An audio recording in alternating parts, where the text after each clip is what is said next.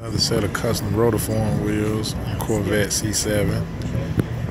Only way to get a lip is with a wide body kit, really, or a custom built wheel. Even still, you still don't get that much lip because the Corvette has a super high offset. These are 20s all the way around 275, 30 20 in the front, 345, 25 20 in the rear. Great looking vehicle, came out really nice. You can find these online at DubsandTires.com. Call us at 877 544 8473. It's your boy KB from and Tires TV signing off.